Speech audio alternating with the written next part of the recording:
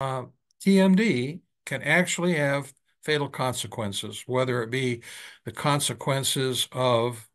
the effect on systemic disease, negative effect, effect on systemic diseases that can be fatal, or localized effects um, on the inability of a provider to get into the mouth to provide appropriate dental care.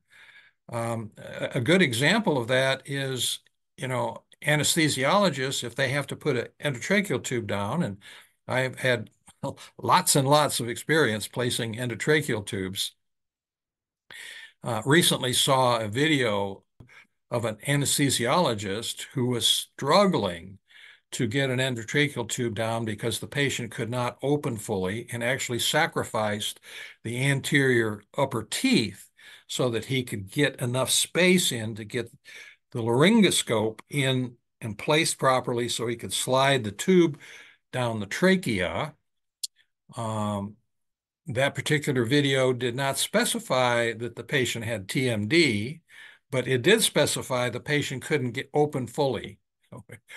which was the most likely cause of a patient not able to open one or more variations of temporomandibular joint disorder. Closed lock, being locked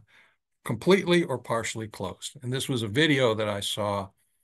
uh, recently when I was preparing for this episode of, a, of an anesthesiologist who sacrificed the anterior teeth so he could get enough space to get the laryngoscope placed properly to get the endotracheal tube placed.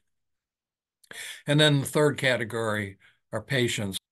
at the end of their rope, literally, because they can't stand the pain associated with TMD that up until they came into uh, our office, uh, no one could help them with.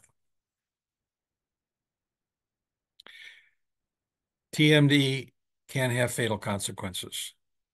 I hope it sobers you up a little bit about dealing with these patients and having a tremendous amount of empathy for them. Uh, we are responsible to make it go right for these people